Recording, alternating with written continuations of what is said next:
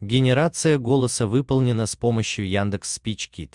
США выводят из Украины инструкторов Нацгвардии. Министерство обороны США приняло решение вывести из Украины военных инструкторов. В частности, 160 военнослужащих Национальной гвардии из американского штата Флорида.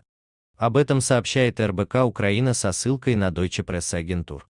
Они будут переведены из Украины в другое место в Европе в качестве меры предосторожности. Они находились в Украине с ноября для оказания консультативной помощи войскам. Пентагон утверждает, что их перевод не изменит решимости США поддерживать украинские силы. Напомним, вчера советник президента США по нацбезопасности Джейк Салливан призвал американцев в течение 48 часов покинуть Украину из-за угрозы вторжения РФ. Кроме того, вчера в Белом доме заявили, что Россия может начать вторжение в Украину во время Олимпиады то есть на следующей неделе.